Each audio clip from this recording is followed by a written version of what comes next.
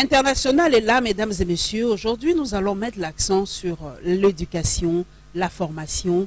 Et aujourd'hui, avec euh, Patrick Balelo, il n'est peut-être plus à présenter, nous allons essayer un peu de, parler de ce secteur qui aujourd'hui en République démocratique du Congo, une partie hein, euh, est, gratuite.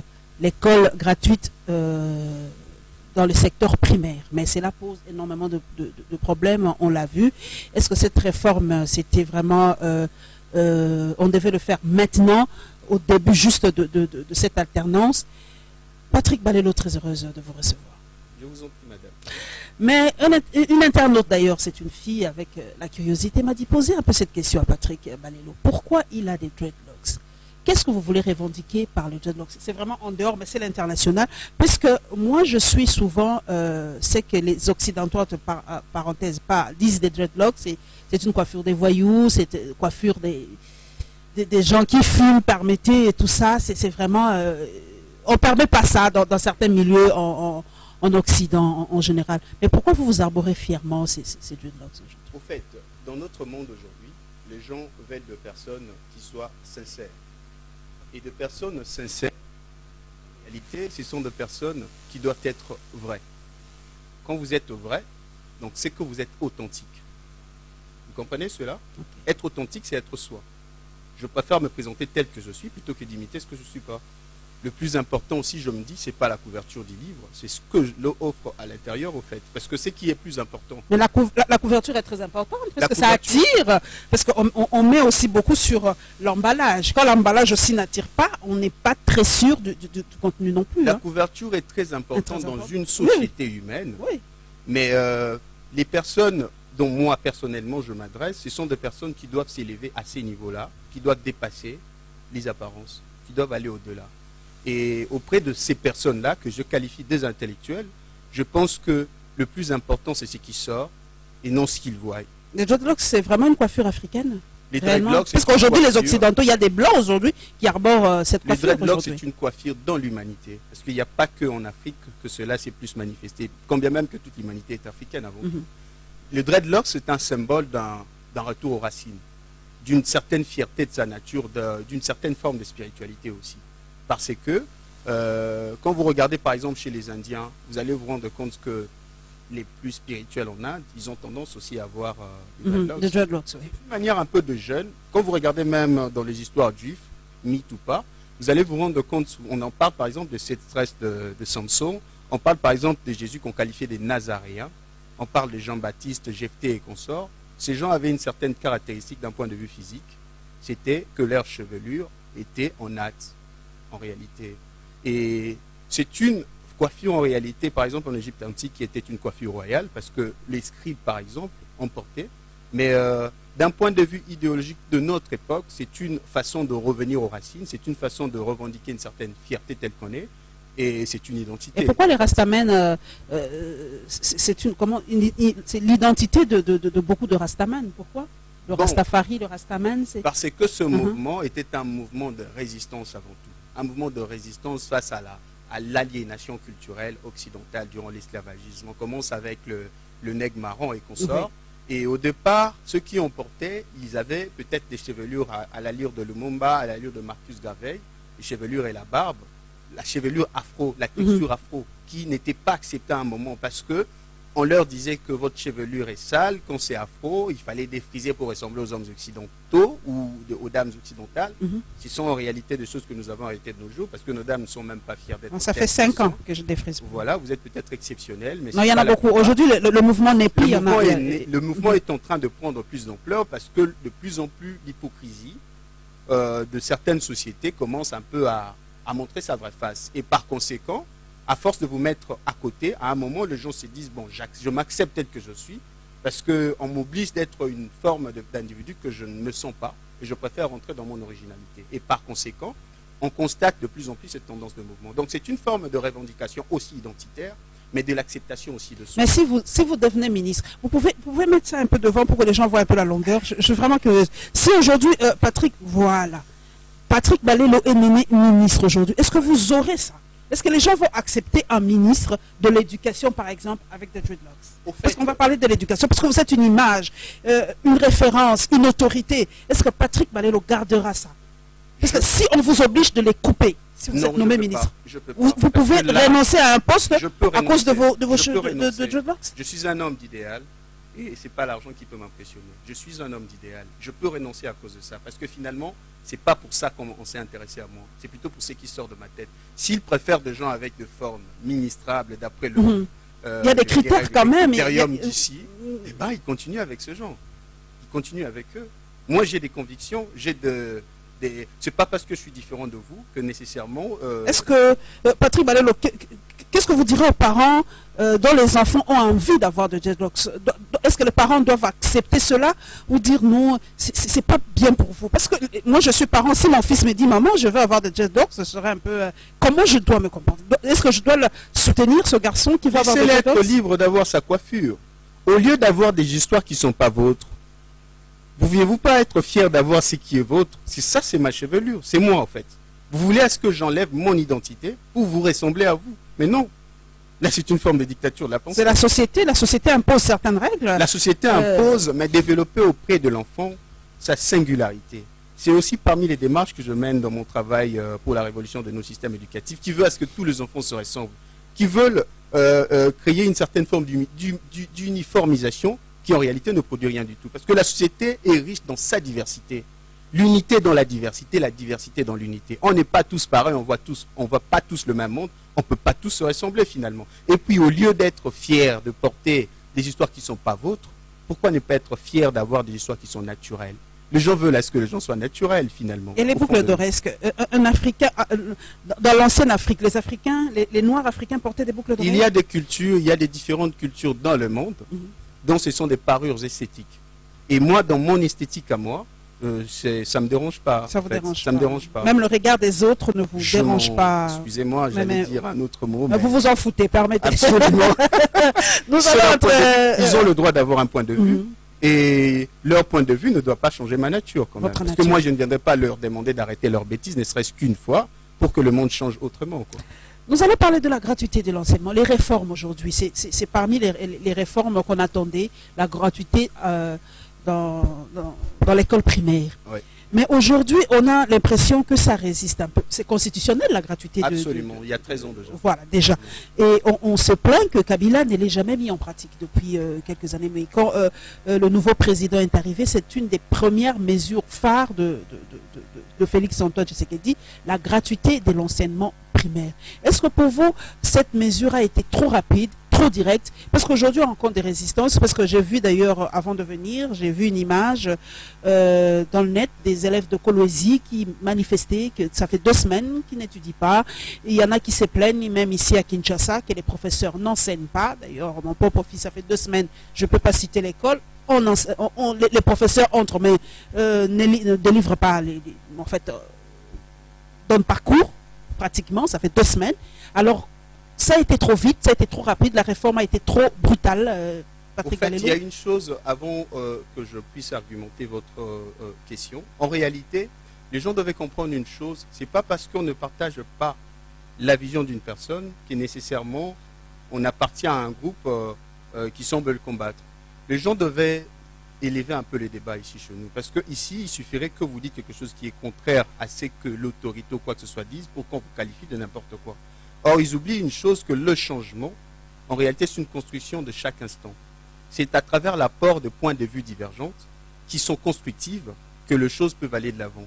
Euh, ce que nous allons discuter ici, en réalité, les gens vont dire que vous critiquez souvent, c'est ce qu'ils disent souvent, vous critiquez mais sans rien proposer. En ce qui me concerne personnellement, il y a deux propositions qui ont été faites. C'est un sujet que j'ai commencé à travailler, ça fait quasiment dix ans. Et euh, j'ai eu à étudier sur toutes ces questions parce que je me suis battu pour ça. Parce qu'on ne peut pas parler d'une euh, euh, révolution qualitative de l'éducation quand on n'offre pas cette éducation à tous. Pour que l'éducation de qualité soit donnée à tous les enfants, il faudra assez que nous tombions sur cette histoire de la gratuité parce que avant l'école était rien que pour les nantis qui avaient cet accès et c'est une certaine forme d'élitisme qui ne permet pas euh, une certaine discrimination discrimination scolaire. Et par conséquent, on ne peut que se réjouir pour la mise en place de, de, la gratuité. de, telles formes de réformes qui sont en réalité révolutionnaires.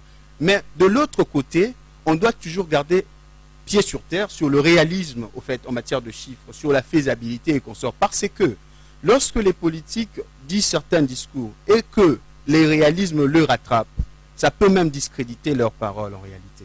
Et si je dois revenir par rapport à cette histoire de la gratuité, d'abord par rapport au combat et ce que j'ai eu à mener, il y a des propositions concrètes qui ont commencé depuis l'ancien système, sous Kabila, qui continuent jusqu'à l'instant où je suis en train de, de parler, qui sont sur les tables de qui de droit. Le combat n'est pas pour qu'on cherche le poste politique, parce que ce n'est pas intéressant, mais le combat est pour que le changement soit global. Et pour que ces changements soient globaux, ça ne peut qu'être réalisé par une institution Ça a été trop direct, Patrick. J'arrive sur ce point. Mhm. C'est très important de Mhm. préciser, de quadriller un peu la pensée. Si je dois revenir maintenant à la question dont vous êtes en train de dire, en réalité, lorsque vous parlez de cette réforme ou des réformes de telles ampleurs, en réalité, ce sont des choses qui doivent être pensées. Et la manière dont la chose a été faite, ça démontre à suffisance que ça n'a pas été pensé en avance. Parce que ce n'est pas à l'instant où on, proclame cela qu'on pourrait Que mettre des réformes assez structurelles comme ça directement. C'était du populisme, selon vous, C'était du populisme. Tout simplement. Parce que la réalité politique risquera d'en rattraper. Dans quel sens? Pour mettre en place de tels changements, il fallait déjà un gouvernement. Un gouvernement qui devait proposer un programme. Un programme qui devait être débattu au Parlement et qui devait être voté pour que ça soit mis en application.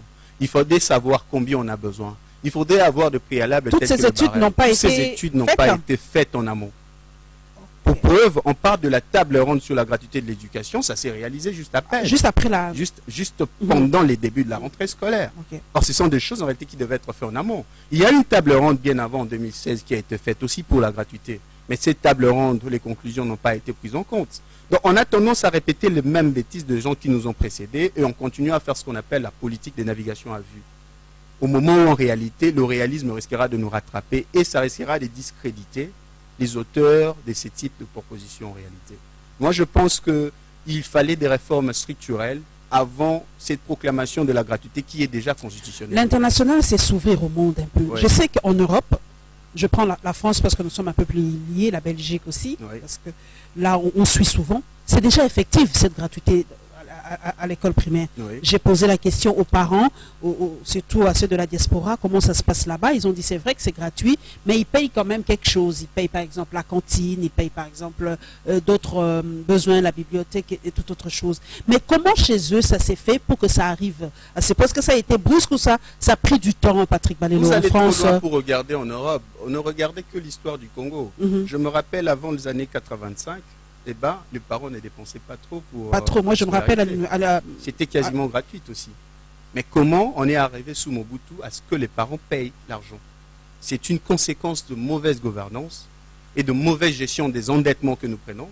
Parce que, qu'est-ce qui se passe? Le secteur de l'éducation, pour qu'elle soit gratuite, il faut que l'État subventionne. Pour que Exactement. l'État subventionne ces secteurs, il faut qu'il gagne, il fabrique, il gagne beaucoup d'argent dans d'autres secteurs. Et quand l'État n'a plus assez de moyens pour pouvoir, euh, au-delà de ses besoins régaliens, euh, euh, financer les secteurs de l'éducation, eh ben, c'est dans ce cadre-là que ça a été remis au niveau des parents. L'origine de, de, de- de la prise en charge de l'enseignement par le parent a commencé dans les années plus ou moins 85, lors de la remise en cause des dettes que nous, le Mobutu et tout ce que nous avons hérité de Belges, quand nous les avons pris vers les années 85, quand on s'est rendu compte qu'on était incapable de payer. Et quand les banques mondiales, les banques, la Banque mondiale a eu à proposer une nouvelle politique pour pouvoir récupérer son argent, qui était le plan d'ajustement structurel. De Kengo, je me rappelle. hein. Kengo Adondo. Le plan d'ajustement structurel consistait à quoi? Puisque vous êtes incapable de, de, de- de- de solder vos dettes, parce qu'il y avait trop d'intérêts, malgré que vous payez, mais vous n'arrivez toujours pas, les intérêts grossissaient énormément, eh ben, certains dirigeants sont décidés qu'on ne peut plus payer. Je ne sais pas si vous vous rappelez du discours de Mobutu au niveau des Nations Unies ou de Thomas Sankara. Thomas Sankara a été tué ensuite, et les autres ont eu peur, ils ont accepté euh, Euh, euh, de, de mettre un peu l'eau dans leur vin, et ben, le la Banque mondiale a proposé une nouvelle politique. Que consistait cette politique? On entre dans la gestion de vos histoires publiques pour qu'on puisse capter l'argent direct À la, source. source.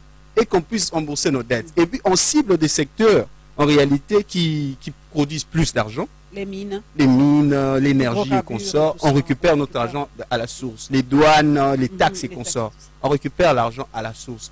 Et du coup, quand ils ont fait ça, pour récupérer leur argent, ils ont négligé le secteur de l'éducation, qui en réalité recevait des subventions. Du coup, l'État n'avait plus assez de moyens pour pouvoir financer l'éducation. Ça ne s'est pas fait qu'en RDC. Ça se fait dans beaucoup de pays, pays subsahariens, africains, africains.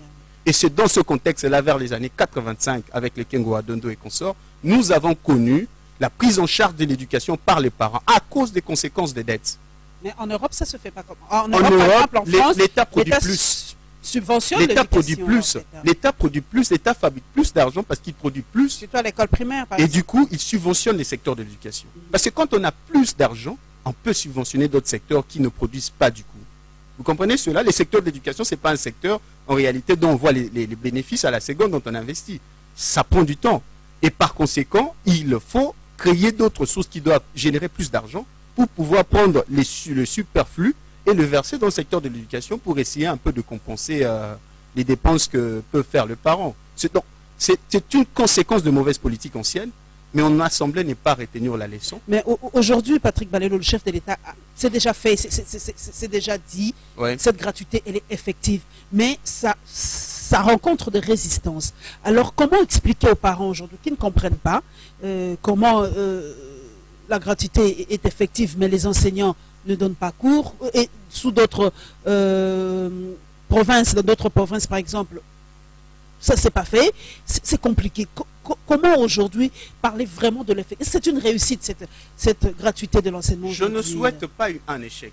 Parce que si je suis en train de militer dans ce contexte-là, c'est pour que ça réussisse. Parce que la réussite de cette politique, c'est le bien-être du Congolais en général. Est-ce que ça ne diminu- diminuera pas la qualité de l'enseignement? Les gens se plaignent et disent mais peut-être la qualité va prendre un Au fait, coup. la manière dont c'est en, cours d'être réalisé, ça va impacter sur la qualité. Parce qu'il faut une planification. Il faut une planification. Il faut une, poli- une politique éducative pour le pays. Quand on parle d'une politique, c'est-à-dire une projection dans le temps, une planification. Et la manière dont la chose est faite, a- c'est pas planifié. On le remarque, trop d'élèves, ça va impacter sur la qualité de l'éducation. Si, si on réussit à le faire, parce qu'il y, y a plus de probabilité qu'on puisse échouer plutôt qu'on puisse réussir, parce qu'on n'a pas le moyen de cette politique. Et le moyen dont on espère, c'est aller vendre les obligations de la RDC auprès des différentes banques pour récupérer de l'argent, pour financer et subventionner cela, réussir pour un mandat de 5 ans, mais pour quelles conséquences pour les générations futures? Là, on s'en fout. L'essentiel est d'honorer les promesses de campagne, mais à quel prix? À quel ça, les gens ne veulent pas penser sur ça. Or, demain, on sera euh, étonné, par exemple, de se rendre compte. Vous voyez, par exemple, l'histoire qui s'est réalisée au Sri Lanka, où euh, l'État sri lankais a eu à perdre la gestion de son port pendant 99 ans, à cause des endettements qu'il a eu à À prendre, perdre? À perdre la gestion de son port principal Ah oui, oui. pendant Oui, oui. 99 ans, Là là. 99 ans, à cause des endettements qu'il a eu à prendre et dont il ne s'est honoré. Les dettes, c'est bien bon d'aller prendre. qu'aujourd'hui l'Afrique ne sortira jamais de ce cercle vicieux alors Mais si quand nos politiques ne prennent, ne prennent pas les leçons du passé, ne prennent pas en compte les, les- les- propositions plus, euh, plus vertes qu'on le, qu'on le font, mais c'est normal que nous tombons dans la même bêtise. Nous faisons des politiques de navigation à vue. Nous ne regardons pas l'histoire pour comprendre d'où nous venons, pour comprendre où nous devions aller. Mais nous semblons répéter, chacun vient répéter la même bêtise que son prédécesseur, tout en ne tenant pas compte des erreurs qui étaient déjà passées. On semble aller sur ce voie-là. Parce qu'en réalité, ces endettements, si par exemple on se dit qu'on doit prendre de l'argent auprès de, des, des- des institutions internationales pour réussir cette histoire de la gratuité. Parce que la Banque mondiale, être la- la- oui, oui, la Banque mondiale a Ça dit semble que- être que- le cas. La Banque que- mondiale ne va, donne va- pas va aider ou le. FMI ou je sais pas, mais, pas mais de les institutions de Bretton Woods disent qu'ils vont, nous accompagner dans, dans cette gratuité. C'est pas de l'aide. C'est quoi Ce C'est pas de l'aide. Ce sont des prêts. Ce sont des prêts qui doivent être remboursés avec intérêt. Waouh. Ça n'a jamais été gratuit. Ce sont des prêts qui sont remboursés avec intérêt. Et de pays à haut risque tels que chez nous ici, avec la mauvaise gouvernance et beaucoup d'autres histoires, l'insécurité financière et consorts, eh bien, ceux-là qui empruntent de l'argent, ils demandent à des taux d'intérêt excessifs. Et ces taux d'intérêt, nos États souvent ne sont pas en mesure de soutenir la dette. Et quand vous n'êtes pas en mesure de soutenir la dette que vous avez prise, le risque c'est quoi? Vous vendez vos obligations. Ils vont récupérer certains secteurs. Aujourd'hui, beaucoup de gens s'étonnent par exemple que la régie des jours, la SNEL, tente à devenir relativement privée. Avec quelles, quelles conséquences? Ce sera la cherté de, des factures et consorts. Demain, les gens seront surpris que le port de Matane ne nous appartient nous Ou par exemple, telle route de péage récupérée ailleurs. Mhm. Tout ça, ce sont des conséquences de politiques non pensées ou mal pensées. Mais cette gratuité, comment, comment normalement ça devait se faire Parce que je savais que vous avez déjà réfléchi sur ça. On a dit que ça a été précipité, ça, ça peut-être été du populisme. Mais comment ça devait se faire Au fait. Si je dois Est-ce qu'on étaler, devait y aller crescendo si par je rapport à dois- cette. euh, si à je cette- dois réforme étaler la manière dont moi Mhm. je pensais, c'est toute une émission qui va nous prendre beaucoup d'heures en réalité. quelques mots, parce oui. que, en quelques mots, il faut des réformes structurelles. Il faut des réformes structurelles. Il faut que ça passe au Parlement. Il faut que les choses soient faites palier par palier. Ça, pourrait, ça ne pourrait pas se faire cette année. Ça devait prendre combien, de Ça devait prendre, moi dans mon plan en réalité, pour réaliser une gratuité mhm. effective. Dans mon plan, pour réaliser une gratuité effective et aussi révolutionner notre système éducatif de la manière dont je l'avais planifié, j'avais imaginé une histoire d'au moins six ans. Six ans. Six ans. Pour réaliser cette réforme structurelle. Euh, ça, la, mise en forme, la mise en place, par exemple, de, de comment on appelle ça, euh, comment on appelle ça, la partie de la Constitution qui traite la question de l'éducation, des lois pour le secteur de l'éducation, qui doit passer au niveau du Parlement, euh, défendu, passer au Sénat et puis promulgué par le chef de l'État pour que ça soit appliqué. Il nous fallait, et puis essayer de faire ces changements périodiquement. Ça devait nous prendre plus ou moins six ans pour que le changement soit effectif. Mais la manière dont se fait, c'est brutal. C'est brutal. C'est brutal et il y a plein de risques. Mais pour réussir cela, on risque encore de revenir en arrière en faisant les politiques passées de l'endettement. On n'avait pas euh, euh, consulté les, professeurs, on n'avait pas consulté d'autres partenaires comme les syndicats, la CICO et autres? On ne les avait pas consultés avant de lancer cette réforme? Parce qu'aujourd'hui, euh, je ne sais pas. Je ne, saurais, je ne saurais pas. Il n'y avait pas eu une, même une, tripartite euh, entre les parents, les, syndicats, les professeurs pour lancer. Il y a deux réunions qui se font à ces niveaux-là. Parce que par exemple, la table ronde, mhm. on a pu inviter des experts euh, de la société civile. Je n'ai pas pris part à ces travaux. Mais qu'est-ce qu'on a proposé exactement? Qu'est-ce qu'on a proposé de concret? Pas grand-chose. Pas grand-chose de réaliste. On a proposé les impôts sur euh, la gratuité de l'enseignement. C'est l'impôt sur la gratuité. Donc c'est nous les parents qui devons. Non, on va, l'État va mettre en place une structure, qui doit prélever des taxes, Qui doit prélever des taxes dont, dont l'argent va servir au financement, de, la, de la gratuité de l'éducation. L'État a déjà une partie de l'argent. Il doit avoir plus ou moins 300 millions de dollars dont il a eu à avoir durant tout ce temps. Mais il faut au moins 2,6 milliards. de dollars. Mais avec le budget, je ne sais pas, parce que cette session est budgétaire, on n'a pas encore le, chiffre exact. Je crois que euh, Ilun Kamba est en train de, préparer euh, ce projet de budget. Mais j'ai ouï dire que l'enseignement aura au moins 20% cette année. 20% avec quel budget? Mais de, ce qu'on aura, je ne sais pas ce Quand vous regardez, quand vous regardez par exemple la croissance que a connue notre pays, qui est, je pense, aux alentours de... Euh, moins de 4,5%. La manière dont ça évolue, je doute fort qu'on peut avoir un budget qui peut dépasser euh, les 6 milliards, je doute. Si même pas le 8 milliards, je doute. Il faut d'abord qu'on soit en mesure d'ajouter au moins dans ce que nous avons ici, la possibilité d'avoir au-delà de 2 milliards. Déjà, on peine pour ne fût-ce qu'avoir ce budget ici. Parce que, vous connaissez comment le budget est signé. Chaque ministère propose des politiques sur comment ils peuvent avoir de l'argent. Et le ministère de budget arrive à mettre tout ça ensemble pour évaluer un peu combien toutes ces dépenses pourraient nous faire, combien on peut faire entrer et combien on doit dépenser. Sur base de ça, ça passe au niveau du Parlement qui doit être débattu. Le Parlement essaie de faire le toilettage. En plus de ce toilettage, aussitôt que se fait, ça passe au niveau du Sénat.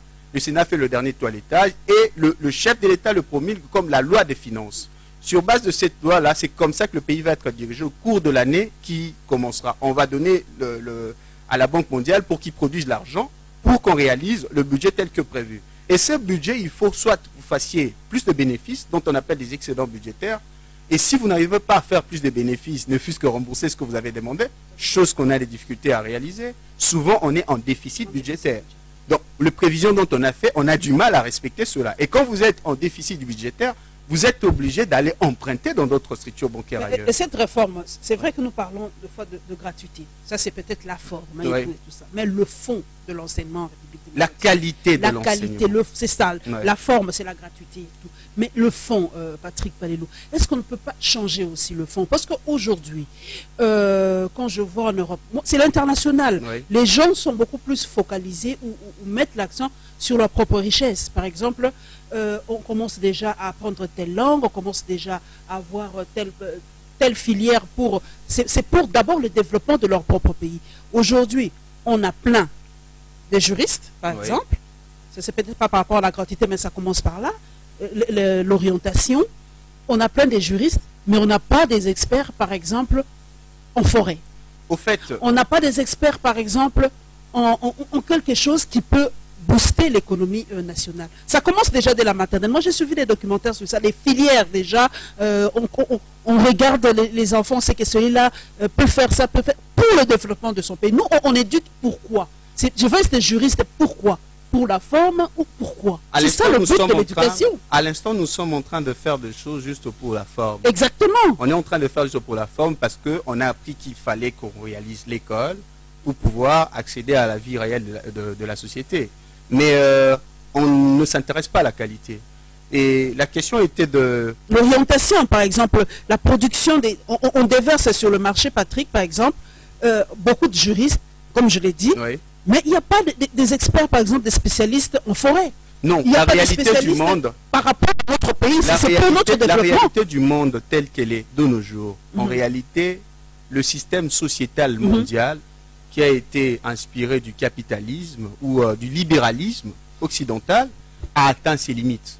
Quand vous remarquez bien toutes les sociétés occidentaux, vous allez vous rendre compte que ça atteint les limites en matière de la manière dont ça, ça, ça, ça doit évoluer. Et par conséquent, toutes les sociétés sont en train de repenser Exactement. la manière de former leurs, euh, leurs individus. Parce qu'il y a beaucoup de choses, il y a beaucoup de mutations d'un point de vue énergétique, d'un point de vue sociétal, d'un point de vue économique qui doit être fait parce que le Mais nous, on, en- a atteint on est toujours dans les, dans, les, dans les mêmes. euh, Nous, nous sommes en train de singer les passés de ces gens qui ont déjà atteint les limites du moment où en réalité on peut créer d'autres paradigmes qui sont propres à nous.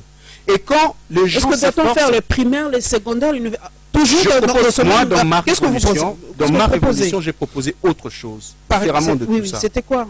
En matière, ça va nous prendre plus de en temps. En quelques minutes, parce que peut rester dans, dans les prix, puisque euh, même cette gratuité-là, on, on, a suivi le ministre qui a dit que non, les parents doivent payer en 6e et en 7e. et 8e. C'est dans l'école primaire. Ouais. Vous voyez, on ne comprend pas très bien où on veut en venir dans cette histoire. En fait, Pourquoi cette réforme de 5e et 6e au 7e ou 8e, je ne sais même pas trop, pour revenir au fait que c'est toujours l'école secondaire. Avant la mise en place de cette réforme, j'avais proposé un plan avec les anciennes administrations. Avant la mise en place de cette réforme, j'avais proposé un plan où j'avais trouvé que la finalité de ce qu'on cherche, en réalité, on ne peut pas l'obtenir avec le cycle dont nous avons, parce que ce cycle-là n'est respecté pas l'objectif visé. Et moi, je proposais de nouveaux cycles. J'avais proposé un changement de cycle sur base des objectifs que j'avais fixés. Sur base de ces objectifs-là, créer des individus ayant suffisamment de racines dans le contexte d'ici, mais aussi des arts intellectuels pour pouvoir développer ce pays tout, de manière tout azimut, d'après leur potentialité naturelle. Sur base de ça, j'avais créé d'autres formes de cycles dans l'étude que j'avais fait sur la psychologie de l'enfant euh, congolais. Et j'avais proposé un changement des cycles qui aurait pu avoir pour conséquence aussi changement de type d'évaluation scolaire, changement de contenu des matières, changement de, de forme d'orientation et changement euh, de la manière même de la finalité de ces enfants pour euh, pouvoir euh, entrer dans la société de manière vive. Parce que qu'est-ce qu'on remarque? Qu'on déverse beaucoup de gens qui finalement Qui finalement ne servent à rien pour le développement pour de, développement de de, notre de- pays. de- la Il RDC. faut réfléchir exactement. sur comment les insérer dans l'évolution de notre société. J'avais réalisé un plan qui allait dans ce sens-là. Mais quand vous proposez ici, on ne s'intéresse pas aux produits de l'intérieur. On préfère aller Prendre des experts, des euh, experts euh, français qui ne connaissent pas la connaissent réalité d'ici. euh, d'ici. Le chef de l'État va demander euh, de l'aide par-ci par-là, mais au moment en réalité, les gens qui viennent leur proposer de bons projets, ils n'en tiennent pas compte. Mais ils attendent à ce que d'autres viennent, mais ces autres-là ne connaissent pas nos réalités. Et ils n'ont pas de même finalité que nous. Donc, au final, le cycle tel que c'est fait, le primaire, le secondaire, pour moi, ça ne répondait à Ça rien du tout. Et d'après les objectifs que j'avais fixés pour la nouvelle éducation, parce que moi, je n'ai plus l'enseignement que je visais, c'est l'éducation intégrale de l'individu, c'est-à-dire lui donner le savoir-être nécessaire, le savoir-faire nécessaire que l'école euh, s'efforce à donner, Mhm. la connaissance de l'être qui est important, parce que c'est lui qui se sait, et ben, c'est déjà une base de l'estime de soi, une base de développement personnel. Et Ça euh, le- fait ailleurs déjà. la culture générale ailleurs. qui est le savoir. Donc je m'étais basé sur Mhm. tout ça pour imaginer l'individu de demain. Et sur base de ça, moi j'ai enlevé ce qu'on appelle enseignement, j'ai mis en place éducation parce que c'est possible. Dans les anciens systèmes, on a plus primé l'enseignement au Que- détriment de, que- de, de relations avec l'autre. Or, on remarque bien notre société, c'est ce qui pose problème. On ne sait pas vivre avec l'autre, c'est l'individualisme, l'égoïsme qu'on appelle Mouté Mamabé qui prime. Mais aussi en matière de compétences et savoir-faire était orienté dans une forme dont on n'a pas besoin. Que Accordez-moi une minute, je vais faire cette petite comparaison. Est-ce qu'un un, élève de l'école primaire française est beaucoup plus euh, outillé qu'un élève qui a terminé l'école primaire en Non, le la conséquence, c'est la, la- la société finalement. Ceux qui sortent de leur société, Mhm. sont plus outillés ils sont plus outillés par rapport à l'évolution du monde actuel que les élèves d'ici.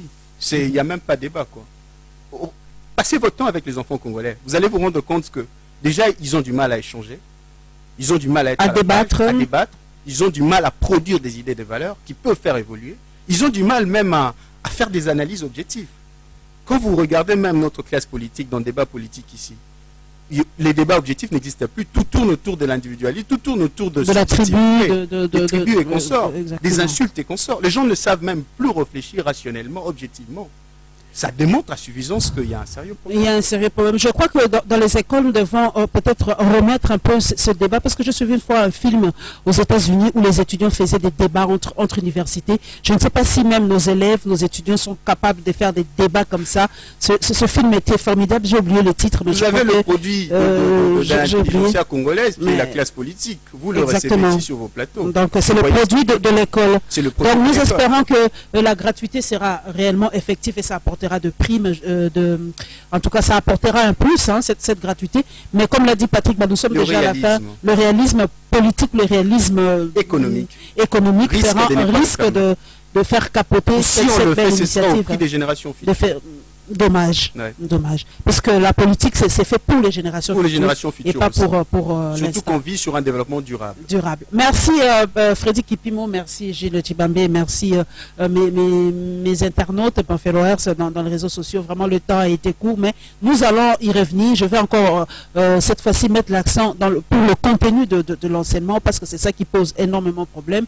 Nos élèves C'est pas seulement ça, c'est parmi les choses qui posent qui problème, nos élèves ne sont plus compétitifs. Quand ils sortent, ça devient très problématique. Parce qu'on peut bel et bien avoir de Mm. bons contenus, mais avec quel type d'enseignement Et avec quel, aussi un avec- problème. avec quel enseignant enseigne enseigne enseigne Tout ça, c'est. On, on peut même donner la gratuité, mais il y a beaucoup de paramètres, euh, en tout cas, euh, à tenir euh, en compte en, en compte par rapport à cette gratuité. Merci Patrick Balélo. Je vous en Merci. prie, madame. Merci. On se retrouvera prochainement pour reprendre, en tout cas, ce sujet qui, qui, ne, qui ne prendra d'ailleurs jamais fait, parce que l'éducation, c'est jusqu'à la mort. Merci et à vendredi prochain.